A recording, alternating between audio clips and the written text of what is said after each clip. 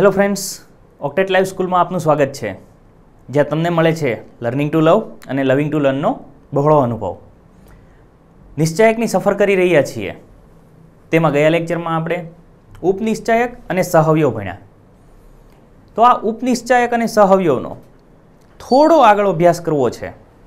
તો એનો ઉપયોગ કરી અને આપણને સહવ્યવ જ શ્રેણિક મળે છે. તો શરૂઆત કરીએ. સહઅવયવ જ શ્રેણિક. તો એ બરાબર એઆઈ જે જો એન ક્રોસ એન ચોરસ શ્રેણિક હોય, તો ઘટક એઆઈ જેના સહઅવયવ કેપિટલ એઆઈ જે માટે શ્રેણિક બને છે એઆઈ જે. જે સહઅવયવ છે, એ બધાને આપણે એ જ સ્વરૂપમાં રાખી દઈએ અને પછી એનો પરિવર્ત શ્રેણિક લઈએ. તો એ જે પરિવર્ત શ્રેણિક છે, તેને ગણ આપણો જે મૂળ શ્રેણિક એ છે, તેનો સહવયવ જ શ્રેણિક કહે છે. અંગ્રેજીમાં તેને એડજોઇન્ટ ઓફ મેટ્રિક્સ કહેવાય છે. એટલે એને સંકેતની અંદર જો આપણે લખવું હોય, તો એને સંકેતમાં આપણે આ રીતે પણ લખીએ છીએ. એડજોઇન ઓફ એ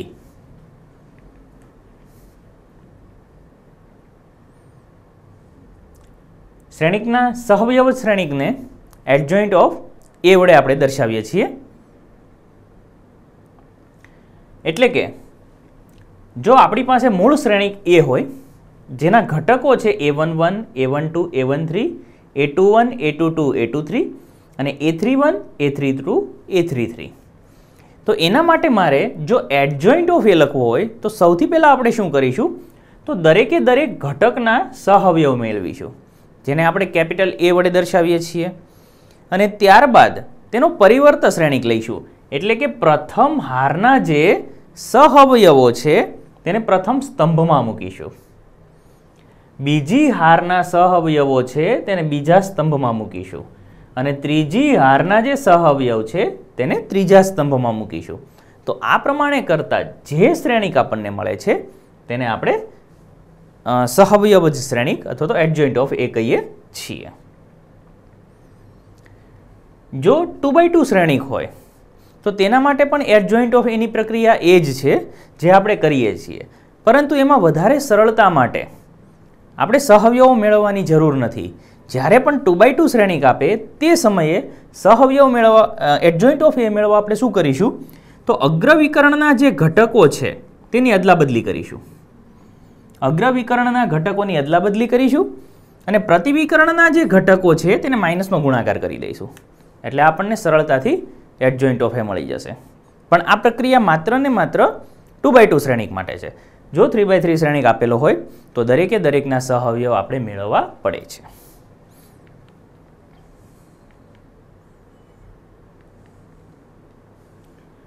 ત્યારબાદ સહઅવયવ શ્રેણીકના અમુક એક ગુણધર્મો છે, જે ગણતરીમાં આપણે ઉપયોગ કરી શકીએ છીએ. જેમ કે, જો કોઈ એન કક્ષાવાળો શ્રેણીક એ હોય તો તેના માટે બે શ્રેણિકનો ગુણાકાર એટલે કે A into adjoint of A કરો, અથવા તો adjoint of A into A કરો. તો એ ફાઇનલી તમને mod of A into I આપે છે. તો એમસીક્યુની અંદર આ પ્રક્રિયા અગત્યની છે. ધારો કે તમને adjoint of A into A કે, અથવા તો A into adjoint of A કે, તો તમારે એડજોઇન્ટ મેળવવો પડે, ગુણાકાર કરવો પડે. એના કરતાં તમારે શું કરવાનું? જે શ્રેણિક આપ્યો છે તેનો નિશ્ચયક મેળવી લ્યો. અને ઇન્ટુ એકમ શ્રેણિક. તમને આન્સર મળી જશે. ત્યારબાદ આવે છે અસામાન્ય શ્રેણિક. હવે અસામાન્ય શ્રેણિક કોને કહેવાય? તો કે જો માનાંક એ ઝીરો હોય, તો તેવા ચોરસ શ્રેણિકને આપણે અસામાન્ય શ્રેણિક કહીએ છીએ. એટલે કે તમને શ્રેણિક આપેલો હોય, તેનો નિશ્ચયકનું મૂલ્ય જો ઝીરો હોય, તો અસામાન્ય શ્રેણિક કહીશું.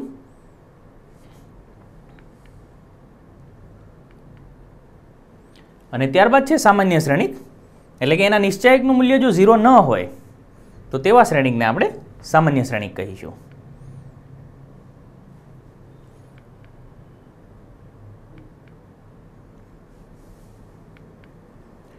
ત્યારબાદ છે કે જો એ અને બી સમાન કક્ષાવાળા સામાન્ય શ્રેણિક હોય, તો એ બી અને બી એ પણ તે જ સમાન કક્ષાના સામાન્ય શ્રેણિક થશે. આપણે જાણીએ છીએ કે એ અને બીની કક્ષા સમાન હોય, તો ગુણાકારની કક્ષા પણ સમાન જ થશે. પરંતુ અહીંયા બીજી અગત્યની વાત કે જો એ અને બી સામાન્ય શ્રેણિક હોય, તો એ બી પણ સામાન્ય શ્રેણીક જ બને છે. ત્યારબાદ છે શ્રેણીકના ગુણાકારનો નિશ્ચાયક એ તેમના અનુરૂપ નિશ્ચાયકના ગુણાકારની બરાબર છે. એટલે કે જો એ અને બી સમાન કક્ષાવાળા ચોરસ શ્રેણિક હોય, તો ગુણાકાર કરી અને તમે નિશ્ચાયક મેળવો. અથવા તો બંનેનો નિશ્ચાયક મેળવી અને પછી ગુણાકાર કરો. આ બંને પ્રક્રિયા સમાન આન્સર આપણને આપે છે. ત્યારબાદ છે કે જો એ એ એન કક્ષાવાળો સામાન્ય શ્રેણિક હોય, તો તમને જો એડજોઇન્ટ મેળવવાનું કહેશે, તો એ શું હશે? તો કે મોડ ઓફ એની એન માઇનસ વન ઘાત હશે. એક ઘાત ઓછી હશે. એડજોઇન્ટમાં એનું જે નિશ્ચાયક મેળવીશું એ સમયે.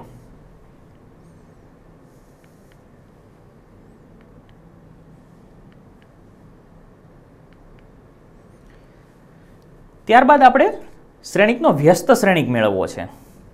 એડજોઇન્ટ તો મેળવી લીધો.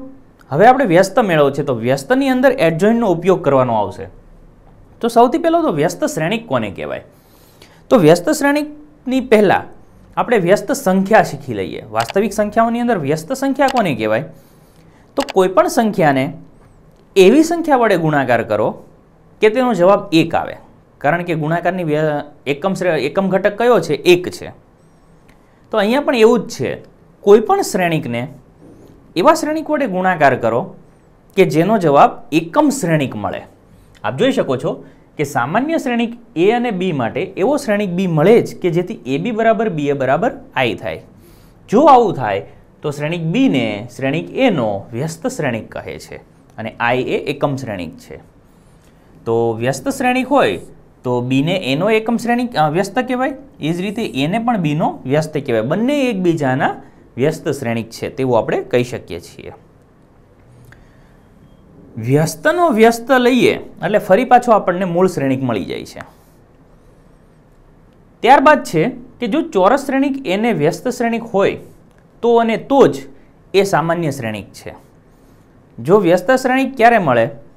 તે સામાન્ય શ્રેણિક હોય તો. અને સામાન્ય શ્રેણિક હોય તો તેને વ્યસ્ત શ્રેણિક મળે જ. બંને એકબીજાની સામસામેની વાતો છે. એટલે કે જો A is not equal to zero તો એ ઇન્વર્સ બરાબર one upon mod A into adjoint of A સૌથી અગત્યનું આ સૂત્ર છે, વ્યસ્ત શ્રેણિક મેળવવા માટે આપણે આનો ઉપયોગ કરીશું. ડિટર્મિનન્ટ મેળવવાનો છે તમારે શ્રેણિકના જે નિશ્ચાયકનું મૂલ્ય અને એનો સહઅવયવજ શ્રેણિક. જો આ બે વસ્તુ આપણને મળી જાય, તો આપણે એનો એ ઇન્વર્સ મેળવી શકીએ છીએ. હવે ગુણાકાર માટે જ્યારે વ્યસ્ત શ્રેણિક મેળવવાનો આવે, ત્યારે બંનેની અદલા બદલી થઈ જાય છે. B dash B inverse A inverse જેવી રીતે ડેશની અંદર પરિવર્તમાં પણ આ જ વસ્તુ થતી હતી. અદલા બદલી થતી હતી, તો ગુણાકારમાં પણ અહીંયા અદલા બદલી થાય છે. તો અહીંયા આપણને જે શ્રેણિક આપેલો છે, તેનો આપણે સહવ્યવજ શ્રેણિક મેળવવાનો છે. તો સહવ્યવજ શ્રેણિક મેળવીએ, તો જે શ્રેણિક આપ્યો છે તેને એ કહીએ આપણે. તો એ બરાબર વન ટુ થ્રી ફોર માટે એડજોઇન્ટ ઓફ એ બરાબર. તો આપણે જાણીએ છીએ કે ટુ બાય ટુ શ્રેણિક હોય એ સમયે અગ્રવિકરણના ઘટકોની અદલાબદલી કરવાની છે અને પ્રતિવિકરણના ઘટકોને માઇનસનો ગુણાકાર કરવાનો છે. તો આ તમને તેનો સહવયવજ શ્રેણિક આપી દેશે.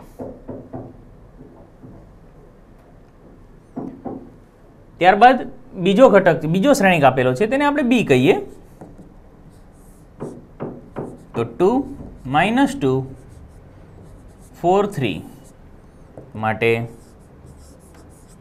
adjoint of B equal to અદલા બદલી કરીએ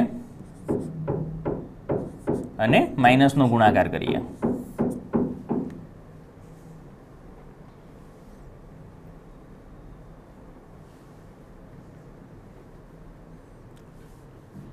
ત્યારબાદ ત્રીજો શ્રેણીક આપ્યો છે. તો આ શ્રેણીકને આપણે એ આપી દઈએ સૌથી પહેલાં તો. તો આપણને જે શ્રેણીક આપ્યો છે, તેને આપણે એ કહીએ. One minus one, two. Two, three five minus two, zero, one. તો હવે આના સહઅવયવો મેળવવાના છે. તો એ વન વન બરાબર કટ થઈ જશે. તો અહીંયાના જે ઘટકો છે, તેનું મૂલ્ય લઈએ તો ત્રણ એકા ત્રણ માઇનસ પાંચ ગુણ્યા જીરો તો એ વન વન ત્રણ થશે. એ વન ટુ બરાબર માઇનસ કૌંસમાં. આ બંને કટ થઈ જશે, તો બે એકા બે વત્તા પાંચ દુ દસ. બરાબર માઇનસ બાર. એ વન થ્રી બરાબર આ બંને કટ થઈ જશે, તો બે ગુણ્યા ઝીરો એટલે ઝીરો. અને અહીંયા થશે માઇનસ માઇનસ પ્લસ સિક્સ. એટલે છ. એવી જ રીતે એ ટુ વનનો સહવયવ લઈએ, તો એ માઇનસ આવશે. કટ થઈ જશે, તો માઇનસ વન, માઇનસ ઝીરો, એટલે પ્લસ વન મળશે આપણને. એ ટુ ટુ બીજા ઘટકનો સહવયવ લઈશું. તો આ બંને કટ થઈ જશે, એક એકા એક અને માઇનસ માઇનસ પ્લસ ચાર. એટલે પાંચ મળશે. એ ટુ થ્રી બરાબર માઇનસમાં આવશે. કટ થઈ જશે તો કે ઝીરો માઇનસ બે એકા બે. એટલે પ્લસ ટુ મળે છે. એ જ પ્રમાણે એ થ્રી વન બરાબર કટ થઈ જશે તો માઇનસ પાંચ. માઇનસ ત્રણ દુ છ. માઇનસ અગિયાર.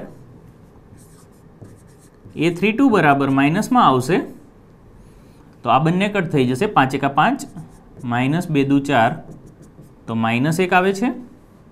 અને એ થ્રી થ્રી બરાબર ત્રણ એકા ત્રણ ને માઇનસ માઇનસ પ્લસ બે બરાબર પાંચ. તો દરેકે દરેકના આપણને સહવયવ મળી ગયા. હવે જો આપણે તેનો સહવયવ જ શ્રેણિક લેવો હોય, તો adjoint of A equal to પ્રથમ હારના સહઅવયવને પ્રથમ સ્તંભમાં લખીશું.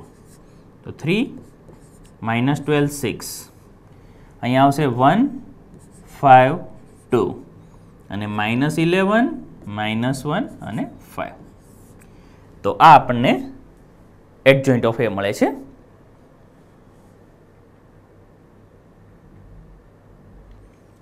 એ જ પ્રમાણે બીજો થ્રી બાય થ્રી શ્રેણીક આપેલો છે. તો તેના આપણે સહઅવયવ મેળવીએ. તો ધારો કે આ શ્રેણિકને આપણે એ કહીએ છીએ. તો એ બરાબર one, two, three, zero, two, four, zero zero five તો સહવયવ મેળવવા માટે તમે કેપિટલ અથવા સ્મોલ કોઈ પણ લઈ શકીએ છીએ. જનરલી આપણે સહવયવને કેપિટલ કહીએ છીએ. તો આ દાખલામાં આપણે કેપિટલનો યુઝ કરીએ. તો કેપિટલ એ વન વન. બરાબર. ચલો, આ બંને દૂર થઈ જશે અહીંયાથી.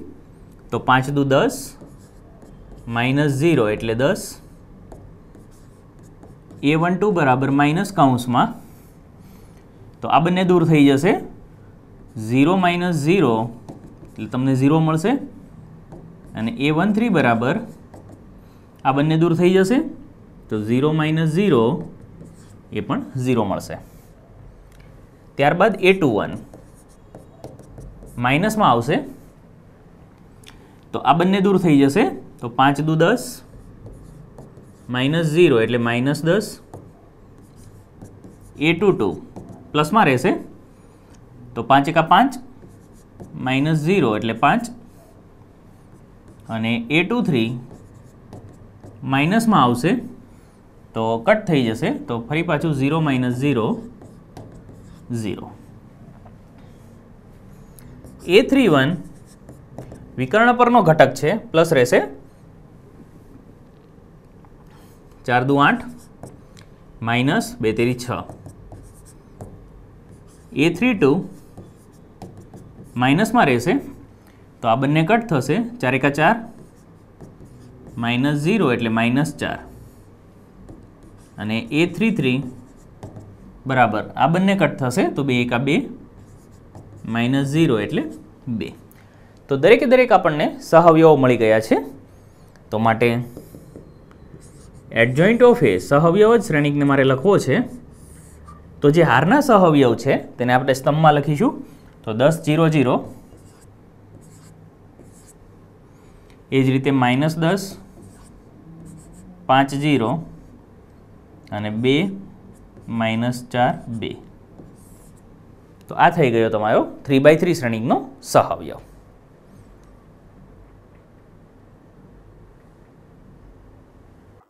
તો બાળકો આપણે એડજોઇન્ટ ઓફ એ મેળવ્યો. હવે આ જ એડજોઇન્ટ ઓફ એની મદદથી એ ઇન્વર્સ કઈ રીતે મળી શકે તે આ સમની અંદર આપણે શીખવાના છીએ. બંનેની સેમ પ્રક્રિયા છે. જ્યારે પણ તમને એ ઇન્વર્સ મેળવવાનું કહેશે, એ સમયે તો સૌથી પહેલાં એડજોઇન્ટ ઓફ એ તો મેળવવો જ પડશે. પરંતુ એ ઇન્વર્સ ત્યારે જ અસ્તિત્વ ધરાવે છે જ્યારે mod of A not equal to zero હોય. એટલે જ્યારે પણ તમને એ ઇન્વર્સ મેળવવાનું કે, સૌથી પહેલાં તમારે મોડ ઓફ એ ચેક કરવાનો છે. તો આપણને જે નિશ્ચાયક આપેલો છે, એને જો આપણે એ નામ આપી દઈએ, તો સૌથી પહેલાં આનો આપણે મોડ ઓફ એ લઈ લઈએ. Mod of A equal to તો નિશ્ચાયકમાં one zero zero zero cos alpha sine alpha zero sine alpha minus cos alpha equal to તો પ્રથમ હાર વડે વિસ્તરણ આપીશું. તો વન ઇન્ટુ અહીંયા થશે minus cos square alpha minus sine square alpha equal to minus one એટલે કે નોટ ઇક્વલ ટુ ઝીરો છે. તો આપણો અહીંયા mod of A not equal to zero છે. તેથી એ ઇન્વર્સનું અસ્તિત્વ છે. હવે એ ઇન્વર્સ માટે સૌથી પહેલાં આપણે તો એડજોઇન્ટ ઓફ એ મેળવવું પડશે અને એડજોઇન્ટ ઓફ એ મેળવવા માટે બધા જ ઘટકોના સૌથી પહેલાં આપણે સહવયવ મેળવવા પડશે.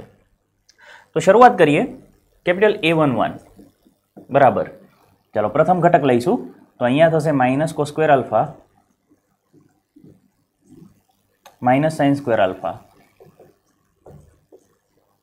equal to minus one ત્યારબાદ એ વન ટુ બીજો ઘટક લઈએ, તો આપણે જાણીએ છીએ કે બીજા ઘટકમાં માઇનસ આવે છે આગળ. તો બંને કટ થઈ જશે. તો ઝીરો ઇન્ટુ ઝીરો એટલે એ જવાબ ઝીરો આવશે. ત્યારબાદ A one three A one three equal to આ કટ કરી દઈશું, તો એમનો જવાબ પણ આવશે ઝીરો ત્યારબાદ A two one A two one minus કરીને આવશે. તો હાર અને સ્તંભને દૂર કરીએ તો ફરી પાછો એ ઝીરો થશે. A two two. A two two વિકર્ણ પરનો ઘટક છે, તેથી પ્લસમાં આવશે. તેથી હારને સ્તંભને દૂર કરીએ.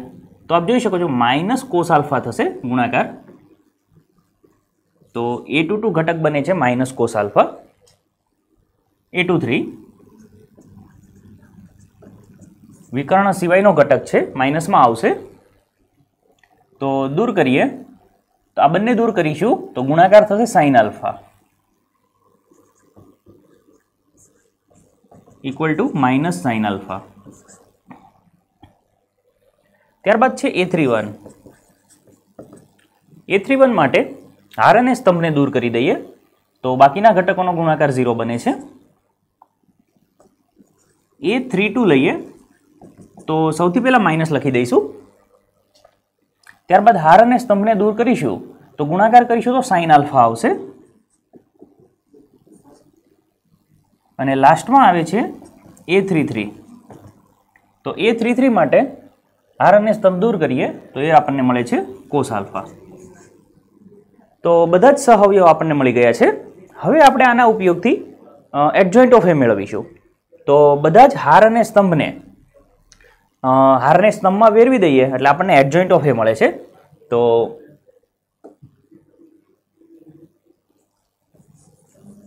adjoint of A equal to તો આપણી પાસે જે ઘટકો છે માઇનસ વન ઝીરો ઝીરો જે હારના છે, તેને આપણે સ્તંભમાં લખીશું.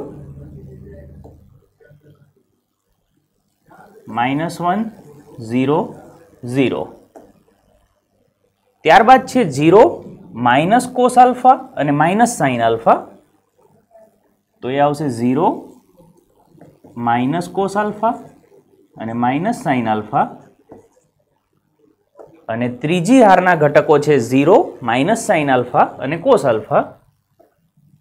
તો એ બની જશે ઝીરો, માઇનસ સાઇન આલ્ફા અને કોસ આલ્ફા. તો અત્યાર સુધી આપણે અહીંયા સુધી મેળવતા હતા. એટ જોઈન્ટ ઓફ એ હવે આપણને એ ઇન્વર્સ પૂછેલો છે. તો એ ઇન્વર્સનું સૂત્ર આપણી પાસે છે. એ ઇન્વર્સ બરાબર one upon mod A into adjoint of A તો મોડ ઓફ એ આપણે સૌથી પહેલાં મેળવી લીધો. અહીંયા મૂકી દઈશું. તો વન અપન માઇનસ વન જે એડજોઇન્ટ ઓફ એ મળ્યો છે એ લઈએ. Minus one zero zero zero minus cos alpha minus sine alpha અને zero minus sine alpha cos alpha આ વન અપન માઇનસ વન એટલે થશે માઇનસ વન અંદર ગુણાકારમાં લઈ જઈએ. તો one zero zero zero cos alpha sine alpha અને zero sine alpha minus cos alpha તો આ જે નિશ્ચયક આપણને મળે છે શ્રેણિકના સ્વરૂપમાં, તે આપેલો જે શ્રેણિક હતો, એનો ઇન્વર્સ શ્રેણિક છે એવું આપણે કહી શકીએ છીએ. આગળ જઈએ. તો આપણને એ અને બી ટુ બાય ટુ શ્રેણિક આપેલા છે અને આપણને આપેલું એક પરિણામ આપણે સાબિત કરવું છે. તો તેના માટે આપણે સૌથી પહેલાં એ ઇન્વર્સ અને બી ઇન્વર્સ મેળવી લઈશું. તો સૌથી પહેલાં મોડ એ અને મોડ બી લઈએ. Mod A three seven two five પાંચ તેરી પંદર માઇનસ સાત ચૌદ. એટલે તે આપણને વન મળે છે. અને એ જ પ્રમાણે mod of B six eight seven nine. છ નવા ચોપન માઇનસ સાત અઠા છપ્પન. એ આપણને મળે છે માઇનસ ટુ. તો બંને નોટ ઇક્વલ ટુ ઝીરો છે. તો એનો મતલબ કે બંનેના વ્યસ્તનું અસ્તિત્વ છે. અહીંયા આપણે એડજોઇન્ટ ઓફ એ લઈએ. તો એડજોઇન્ટ ઓફ એ જ્યારે ટુ બાય ટુ હોય, ત્યારે આપણને ખબર છે કે પ્રથમ અગ્રવિકરણની અદલાબદલી કરીએ છીએ અને પ્રતિવિકરણને માઇનસ કરીએ છીએ. એ જ પ્રમાણે એડજોઇન્ટ બી અગ્રવિકરણની બદલી કરીએ છીએ અને પ્રતિવિકરણને માઇનસ આપીએ છીએ. તો બંનેના એડજોઇન્ટ મળી જાય છે. હવે આપણે એ ઇન્વર્સ લઈએ. તો એ ઇન્વર્સ બરાબર વન અપન મોડે, એટલે કે one upon one into adjoint of one તો એડજોઇન્ટ ઓફ વન છે આપણી પાસે five minus seven minus two અને થ્રી તો વન અપન વન એટલે વન જ થશે. તો એનો અંદર ગુણાકાર કરી દઈએ. તો એનો એ જ શ્રેણિક આપણને મળશે five minus seven minus two અને થ્રી ત્યારબાદ આપણે બી ઇન્વર્સ લઈએ. તો બી ઇન્વર્સ ઇક્વલ ટુ તો વન અપન મોડ બી થશે. તો અહીંયા માઇનસ ટુ આવશે. ઇન્ટુ એડજોઇન્ટ ઓફ બી કરીએ. તો nine minus eight minus seven અને સિક્સ યાદ રાખો બાળકો, જ્યારે પણ અંદર ગુણાકાર કરીએ છીએ, ત્યારે અંદર અપૂર્ણાંક ન આવવો જોઈએ. કારણ કે અપૂર્ણાંક આવશે તો ફરી પાછા બંને શ્રેણીકનો આપણે ગુણાકાર કરવાનો છે. તો એ ગુણાકાર બહુ જ અઘરો પડી જશે. તેથી એ જે ભાગાકારના સ્વરૂપની સંખ્યા છે એને બહાર રાખીશું. એટલે અહીંયા બેને બહાર રહેવા દઈશું. ખાલી માઇનસનો અંદર આપણે ગુણાકાર કરીએ છીએ. તેથી વન બાય ટુને બહાર રહેવા દઈએ. અને માઇનસને ગુણી દઈએ, તો માઇનસ નવ, આઠ, સાત અને માઇનસ છ. તો આ આપણને મળી જાય છે બી ઇનવર્સ તો બંને વ્યસ્ત શ્રેણીક આપણી પાસે છે. આપણે જોઈએ છે બી ઇનવર્સ એ ઇનવર્સ તો ગુણાકાર કરીએ. બી ઇનવર્સ એ ઇનવર્સ તો બી ઇનવર્સને પહેલાં લખીશું. One by two minus nine eight seven અને માઇનસ સિક્સ એ ઇનવર્સ લઈએ. Five minus seven minus two અને થ્રી તો equal to one by two ગુણાકાર કરીએ. નવ પચાસ પિસ્તાલીસ માઇનસ પિસ્તાલીસ. આઠ દુ સોળ માઇનસ સોળ. નવ સત્તા ત્રેસઠ બીજો ઘટક છે. અને આઠ તેરી ચોવીસ. અહીંયા આવશે સાત પચાસ પાંત્રીસ. અને પ્લસ છ દુ બાર એ જ પ્રમાણે સત્યુ સત્યુ ઓગણપચાસ. અને ત્યાર પછી છતેરી અઢાર. તો equal to B inverse A inverse જવાબ આપણે લખવો હોય તો સૌથી બાર one by two into minus minus plus થશે છ ને પાંચ અગિયાર વધી એક, ચાર ને એક, પાંચ ને એક, છ. એકસઠ પણ માઇનસ. એ જ પ્રમાણે અહીંયા સરવાળો કરીએ તો ચાર ને ત્રણ સાત અને છ ને બે આઠ. સત્યાસી આવશે.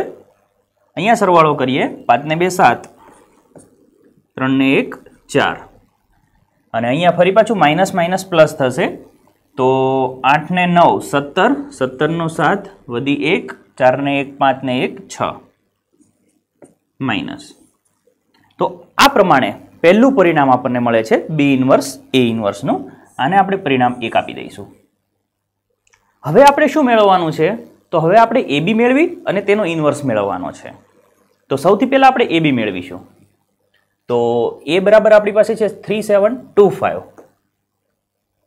તો એ બરાબર થ્રી સેવન ટુ ફાઇવ અને બી બરાબર આપણી પાસે છે six eight seven nine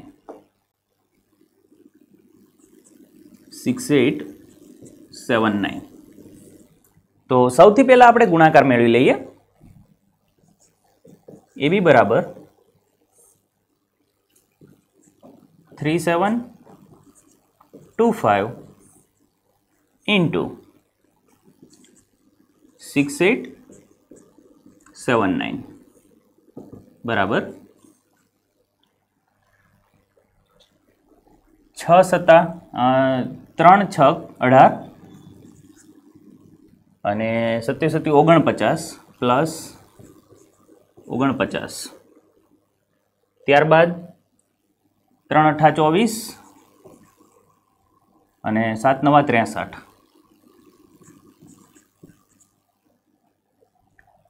છ દુ બાર અને પાંચ સત્તા પાંત્રીસ. આઠ દુ સોળ, નવ પચાસ પિસ્તાલીસ. ઇક્વલ ટુ સરવાળો કરીએ તો નવ ને આઠ સત્તર વધી એક ચાર ને એક પાંચ ને એક, છ, સડસઠ આવે છે. ત્યારબાદ ચારને ત્રણ, સાત અને છ ને બે, આઠ. સત્યાસી. અહીંયા આવીએ તો પાંચ ને બે, સાત અને ત્રણને એક, ચાર. ત્યારબાદ છ ને પાંચ, અગિયાર. અગિયારનો એક વધી એક, ચારને એક, પાંચ પાંચ ને એક, છ. તો આ આપણને મળે છે એ બી. હવે આપણે સૌથી પહેલાં તો એ બી ઇન્વર્સ જોઈએ છે. તો એ બી ઇન્વર્સ માટે આપણે મોડ ઓફ એબીની જરૂર પડશે. તો મોડ ઓફ એબી મેળવીએ.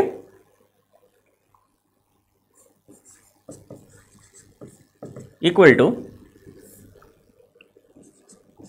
સડસઠ, સત્યાસી, સુડતાલીસ અને એકસઠ.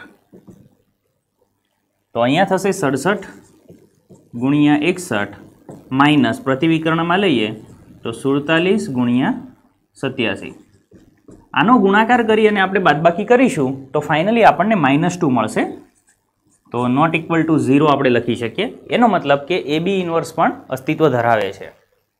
અસ્તિત્વ ધરાવતું હોય તો એ બીનો એડજોઇન્ટ આપણે મેળવવો પડશે. તો એડજોઇન્ટ ઓફ એ બી તો ટુ બાય ટુના એડજોઇન્ટ માટે અગ્રવિકર્ણના ઘટકોની અદલાબદલી એકસઠ અને સડસઠ અને પ્રતિવિકરણને માઇનસ. તો સત્યાસી અને સુડતાલીસ. એ બી ઇન્વર્સ લઈએ. તો one upon mod of A B mod of A B એટલે minus two into adjoint of A B એકસઠ માઇનસ સત્યાસી માઇનસ સુડતાલીસ અને સડસઠ. માઇનસને અંદર ગુણાકારમાં લઈ જઈએ. તો અહીંયા વન બાય ટુ આવશે. ઇન્ટુ અહીંયા થશે minus sixty one plus eighty seven plus forty seven અને માઇનસ સિક્સટી સેવન આ મળે છે આપણને પરિણામ બે. પરિણામ એક અને બેમાં ચેક કરી લઈએ તો વન બાય ટુ બંનેમાં કોમન છે. ઘટકો ચેક કરીએ તો minus sixty one eighty seven અને ફોર્ટી સેવન સિક્સટી સેવન આપ જોઈ શકો છો કે બંનેના ઘટકો કેવા છે? સમાન છે. એનો મતલબ કે આપણે જે પરિણામ આપ્યું છે એ સાચું છે. તો લખી શકીએ. પરિણામ એક અને બે પરથી A B inverse equal to B inverse A inverse. તો આ વાત થઈ ટુ બાય ટુ શ્રેણિકની. આ જ પ્રક્રિયા થ્રી બાય થ્રી માટે સાબિત કરવી હોય તો પણ આપણે કરી શકીએ છીએ. ટ્રાન્સપોઝ માટે કરવું હોય તો પણ કરી શકીએ છીએ. દરેકે દરેક પરિણામ આપણે આ રીતે સાબિત કરી શકીએ છીએ.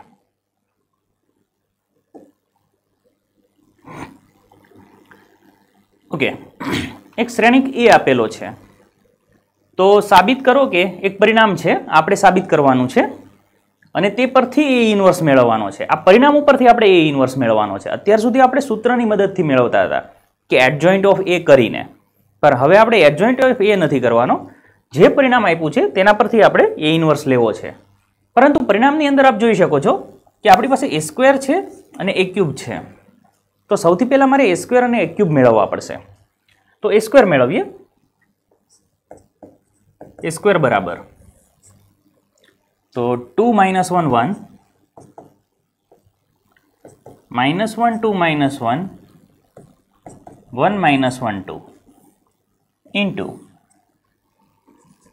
two minus one one minus one two minus one one minus one two A into A કરીશું. એટલે ફાઇનલી આપણને એ સ્ક્વેર મળી જશે. તો ઇક્વલ ટુ બે દુ ચાર. વત્તા એક. વત્તા એક. બીજો ઘટક, તો કે માઇનસ ટુ માઇનસ ટુ અને માઇનસ વન ત્રીજો ઘટક, બે એકા બે. પ્લસ બે, પ્લસ વન, અને ફરી પાછું પ્લસ ટુ. અહીંયા આવીએ, તો માઇનસ ટુ માઇનસ ટુ, અને minus one. Minus minus, plus one, બે દુ ચાર, અને માઇનસ માઇનસ, પ્લસ વન. એ જ પ્રમાણે માઇનસ વન માઇનસ ટુ અને માઇનસ ટુ ત્રીજી આર લઈએ તો બે એકા બે plus one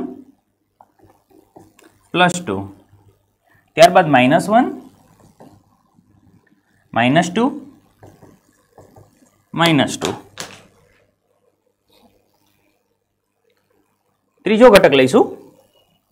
One plus one plus four. Equal to A square આપણને મળે છે six minus five plus five minus five six minus five five minus five અને સિક્સ તો આ આપણને મેળવ્યો એ સ્ક્વેર હવે આપણે એ ક્યુબ મેળવવાનો છે. તો એ ક્યુબ કઈ રીતે મળશે? તો કે એ સ્ક્વેર ઇન્ટુ એ કરીશું, એટલે આપણને એ ક્યુબ મળી જશે. તો એ ક્યુબ બરાબર એ સ્ક્વેર ઇન્ટુ એ તો એ સ્ક્વેર લઈએ. Six minus five five six minus five five બીજી હારમાં છે minus five six minus five minus five six minus five અને ત્રીજી હારમાં આપણને આપેલું છે five minus five six five minus five અને સિક્સ ઇન્ટુ કરવું છે આપણે. તો એ આપણી પાસે છે two minus one one two minus one one બીજી હાર છે minus one two minus one minus one two minus one અને ત્રીજી હાર જોઈએ તો એ થશે one minus one two one minus one અને ટુ. તો હવે આ બંનેનો ગુણાકાર આપણે કરવાનો છે. તો બરાબર.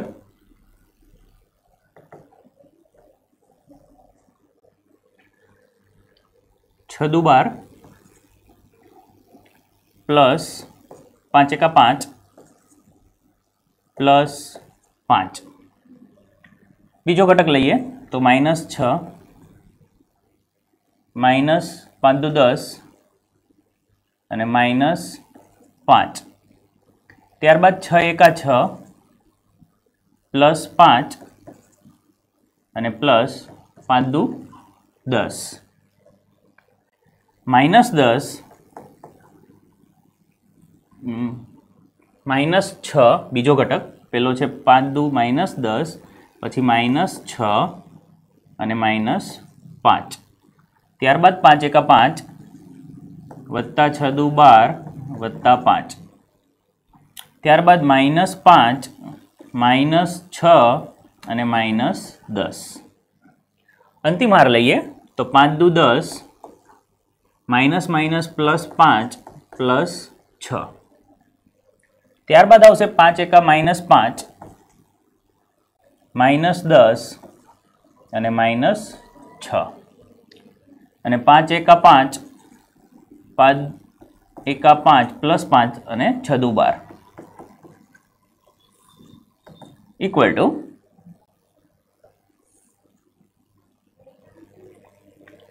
તો પાંચ ને પાંચ દસ દસ ને બાર એટલે બાવીસ. ત્યારબાદ અહીંયા આવશે માઇનસ છ, માઇનસ પાંચ એટલે માઇનસ અગિયાર એટલે માઇનસ એકવીસ થશે. અને અહીંયા પ્લસ એકવીસ થશે. ત્યારબાદ માઇનસ એકવીસ, બાવીસ અને માઇનસ એકવીસ. પ્લસ એકવીસ, માઇનસ એકવીસ અને બાવીસ. તો આ વાત થઈ સૌથી અગત્યની, એટલે કે એ સ્ક્વેર અને એ ક્યુબ આપણને મળી ગયો. હવે આપણે શું કરવાનું છે? તો હવે આપણે જે પરિણામ આપ્યું છે તે સાબિત કરવાનું છે, તો તે સૌથી સરળ પ્રક્રિયા છે. આપણને આપેલું છે A cube minus six A square plus nine A minus four I તો A cube minus six A square plus nine A minus four I બહુ સરળ પ્રક્રિયા છે બાળકો. અને એલએચએસ તરીકે આપણે લઈએ. તો તમારે શું કરવાનું છે? જે એક ક્યુબ મળ્યો છે, તે અહીંયા મૂકી દઈએ. જે એ સ્ક્વેર મળ્યો છે, તે આપણે મૂકી દઈશું. ત્યારબાદ એ આપણી પાસે છે અને આઈ છે. બધા જ શ્રેણીકો મૂકી અને આપણે સરવાળો કરીશું, તો ફાઇનલી તમને આનો આન્સર ઝીરો મળશે, એટલે કે આરએચએસ થશે. તો આ વસ્તુ તમારે સ્વપ્રયત્ન કરવાની છે. કિંમતો મૂકવાની છે. જે સંખ્યા આપી છે તેનો ગુણાકાર કરી અને સરવાળો બાદબાકી કરશો, એટલે ફાઇનલી તમને શૂન્ય શ્રેણીક મળશે. તો આપેલું જે પરિણામ છે, તે આપણે આ રીતે સાબિત કરી શકીશું. અગત્યની વાત હવે છે. એટલે કે આપેલા પરિણામ પરથી આપણે એ ઇન્વર્સ મેળવવો છે. તો એ ઇન્વર્સ કઈ રીતે મળશે? તો બંને બાજુ આપણે એ ઇન્વર્સનો ગુણાકાર કરીશું. આપણને જે પરિણામ આપ્યું છે, તો બંને બાજુ એ ઇન્વર્સનો ગુણાકાર કરતા. તો બંને બાજુ એ ઇન્વર્સ વડે ગુણતા. તો માટે. હવે ગુણાકારમાં ખાસ ધ્યાન આપજો. કે પહેલા ગુણાકાર કરો તો પહેલા જ બધાની સાથે અને પછી કરો તો બધાની સાથે પછી રાખવાનો છે. તો A cube into A inverse minus six A square A inverse plus nine A A inverse minus four I A inverse equal to zero into A inverse બધી જ બાજુ એ ઇન્વર્સનો ગુણાકાર કરી દેવાનો છે. અહીંયા જોવા જઈએ તો આ થઈ જશે એ સ્ક્વેર અને એ ઇન્ટુ એ ઇન્વર્સ છૂટું પડે. માઇનસ સિક્સ એ અહીંયા એ ઇન્ટુ એ ઇન્વર્સ છૂટું પડે. Plus nine A into A inverse એટલે આઈ થઈ જશે. Minus four I into A inverse એટલે એ ઇન્વર્સ થઈ જશે. અને અહીંયા ઝીરો સાથેનો ગુણાકાર ઝીરો થશે. એ ઇન્ટુ એ ઇન્વર્સ ફરી પાછું અહીંયા આઈ થઈ જશે. માઇનસ સિક્સ એ, ફરી પાછું એ ઇન્ટુ એ ઇન્વર્સ એટલે I, plus nine I, minus four, A inverse બરાબર ઝીરો.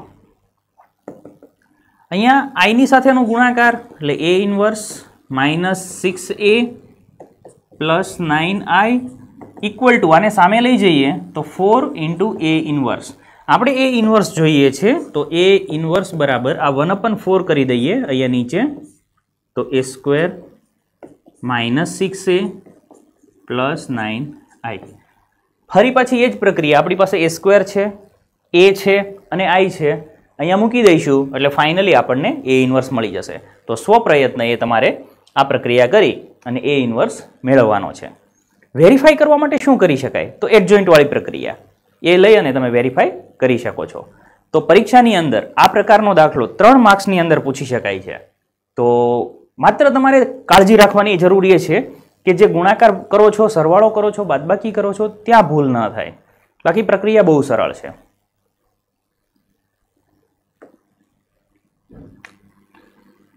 જો કેપિટલ એ એ થ્રી બાય થ્રી કક્ષાવાળો સામાન્ય ચોરસ શ્રેણિક હોય, તો એડજોઇન્ટ ઓફ એ બરાબર કયો ઓપ્શન આમાંથી રાઈટ ઓપ્શન થઈ શકે?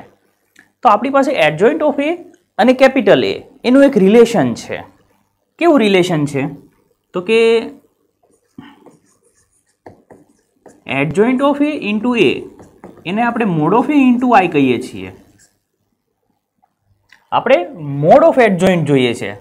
તો બંને બાજુ જ્યારે મોડ લઈએ, તો mod of adjoint of A into A equal to mod of આ રીતે થશે. તો અહીંયા બંનેને મોડ અલગ આપી શકીએ આપણે. તો mod of adjoint of A into mod of A. અહીંયા જ્યારે મોડ આપીશું, ત્યારે જે કક્ષા હશે તે તેની ઘાત બની જશે. એટલે કે મોડ ઓફ એનો ક્યુબ થશે ઇન્ટુ મોડ ઓફ આઈ એટલે વન થઈ જશે. તો માટે mod of joint of A equal to એક દૂર કરી દઈએ, એટલે મોડ ઓફ એનો સ્ક્વેર આપણને આન્સર મળે છે. એટલે બી ઓપ્શન આપણો આન્સર બનશે. એ એ ટુ કક્ષાવાળો સામાન્ય શ્રેણિક છે, એટલે કે ટુ બાય ટુ કક્ષાનો શ્રેણિક છે. તો એ ઇન્વર્સ અને એનો નિશ્ચાયક શું હશે? તો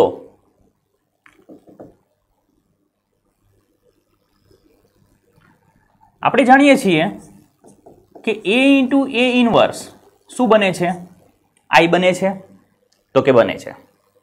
આપણે એ ઇન્વર્સનો નિશ્ચાયક જોઈએ છે. તો બંને બાજુ નિશ્ચાયક આપી દઈએ. બંને બાજુ ડિટર્મિનન્ટ આપીએ. તો મોડ લગાવીએ. Mod of A into A inverse equal to mod of I અહીંયા બંને નિશ્ચાયક છૂટા પડશે. અહીંયા વન થઈ જશે. તો જો આપણે એ ઇન્વર્સનો નિશ્ચાયક જોતો હોય, તો આ થઈ ગયું one upon mod of A એટલે કે one upon determinant of A આપણે લખી શકીએ. તો one upon determinant of A. B option છે એ આપણો આન્સર બને છે. તો બાળકો, આ હતું આપણું નિશ્ચાયક. જેની અંદર આપણે વ્યસ્ત શ્રેણિક કઈ રીતે મેળવવો તે આપણે શીખ્યા. વ્યસ્ત શ્રેણિક મેળવવા માટે થોડું રિમાઇન્ડ કરી લઈએ કે સૌથી પહેલાં આપણે શું મેળવ્યું? તો કે સહવ્યવજ શ્રેણિક મેળવવા અને સહવ્યવજ શ્રેણિક કઈ રીતે મળે? તો કે જો ટુ બાય ટુ શ્રેણિક હોય, તો અગ્રવિકર્ણના ઘટકોની અદલાબદલી અને પ્રતિવિકરણના ઘટકોને માઇનસનો ગુણાકાર. અને જો થ્રી બાય થ્રી શ્રેણિક હોય, તો તો દરેકે દરેક ઘટકોના સહવયવ મેળવી અને એ સહવયવોને હારને સ્તંભમાં બદલવાથી એ જે શ્રેણિક આપેલો છે, તેનો એડજોઇન્ટ ઓફ શ્રેણિક મળે છે. તો આપને આ જે ટોપિક શીખ્યા, એમાં કોઈ પણ ડાઉટ હોય, તો તમે કમેન્ટ સેક્શનમાં લખી અને મોકલી શકો છો. એ જ રીતે જો તમને આ વીડિયો સારો લાગ્યો હોય તો શેર કરો લાઇક કરો અને અમારી ચેનલને સબસ્ક્રાઈબ કરો અને આવનારા નવા વીડિયો માટે રાહ જુઓ. Thank you